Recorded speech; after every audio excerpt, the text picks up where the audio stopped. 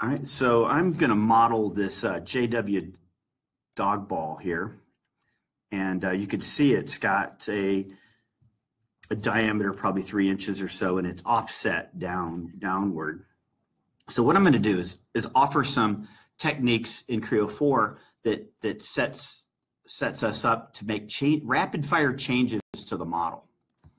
So many times as designers and engineers, we're under the gun to get something done, but we don't think about how, how, how quickly we can make changes to the model. And I think that's really what, uh, what I'm all about. Uh, my name is Bart Brejcha. I work at Design Engine uh, based out of Chicago, and we teach a wide variety of Creo modeling classes. So I'm going to go ahead and make that three uh, inch diameter and uh, check out of it. So I know that'll revolve. I'm not going to go ahead and revolve it at the moment.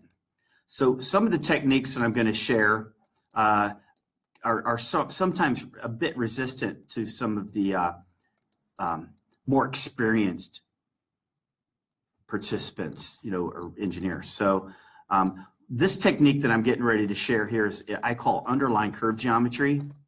So I'm, I'm basically laying out different curves so that uh, I can come back and change it in sort of a rapid fire kind of way.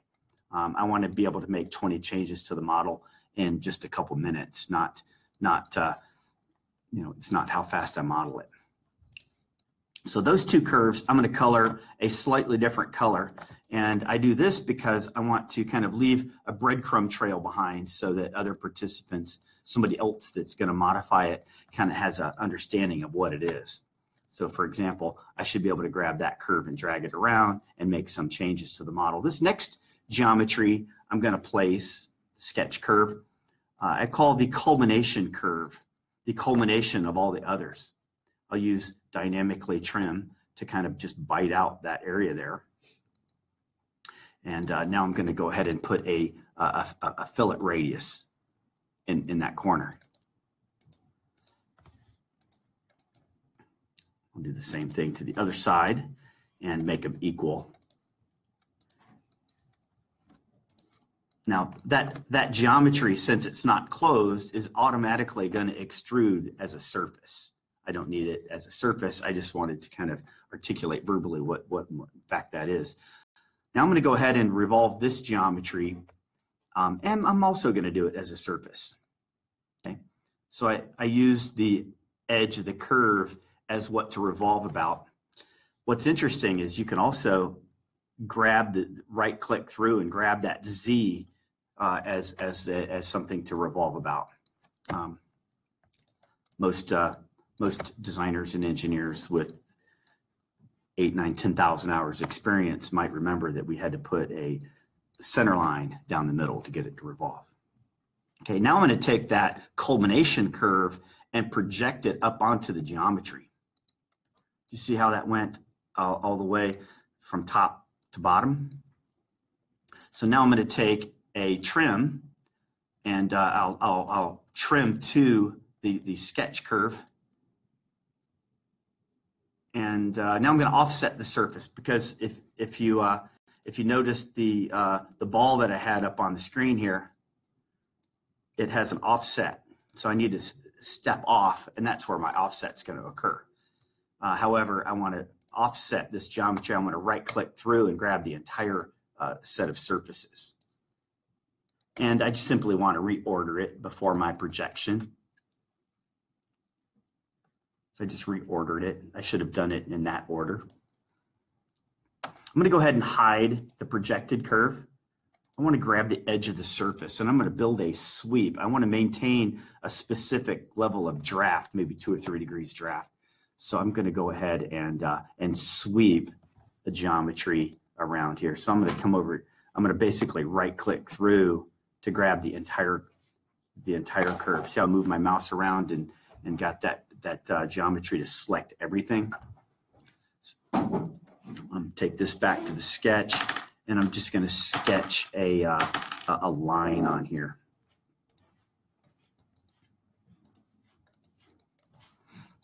Okay, I should be able to change that at will. now that I've built that surface, I've kind of got the basic geometry set up. Let's go ahead and merge everything together. Um, I'll left click and left click to merge that final merge. You got to kind of get the arrows just right.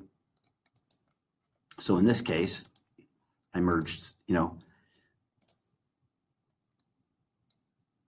build build the selection set of the merge appropriately to get what you want to keep. And then uh, we put the round on. And uh, you could solidify it at this point or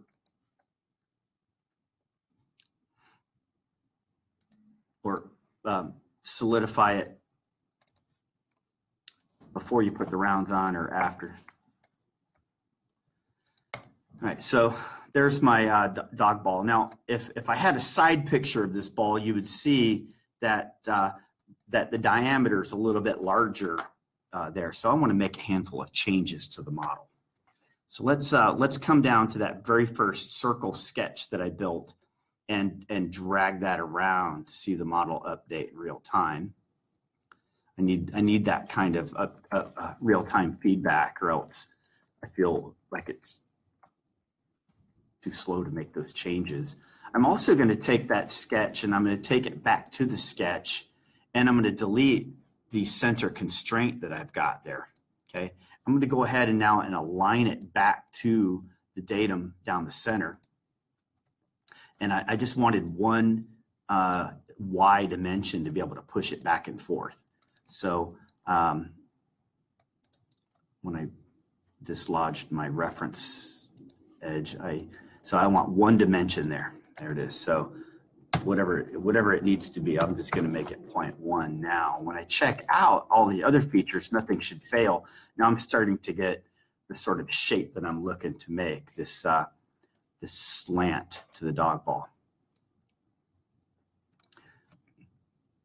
My pit bull will uh, take just about three minutes to chew this dog ball until it quits squeaking.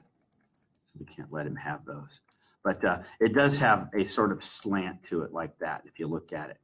Now, if you look at this thing straight on, do you see how both of these edges are parallel? So what I'd like to be able to do is redefine that, that square, that, I, that rectangle that I put down in here. I'm just going to remove the vertical constraints. I might even force symmetry this way and uh, I already forgot that way, so I'll go uh, this way. And I'm, I'm just going to ride it up so that it's in fact a, uh, a trapezoid. Now I expect some features to fail, but uh, one of the things that uh, we like to say as, as things fail, how quickly can you manage the failure so it doesn't fail again? So I'm going to take this back to the sketch and simply hit update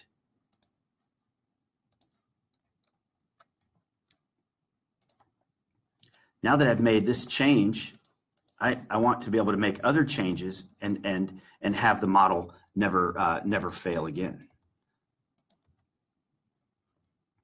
So I'm just going to take a couple seconds to to look at it. I've got one dimension for the radius in this entire sketch. So it seems a little strange that I would go out of my way to make that culmination curve. But now that I've done that, you'll see that I'm capable of making some really drastic changes to the model in ways that uh, that uh, others may not be comfortable making. Live on the screen. Now I've got now now these uh, the the front of my dog balls not parallel. They're they're they're smiling or frowning depending on your perspective. So uh, if anybody wants uh, this ball, they should put their email address and uh, we'll send it to them. Again, my name is Bart Brejcha with Design Engine. Thank you for watching.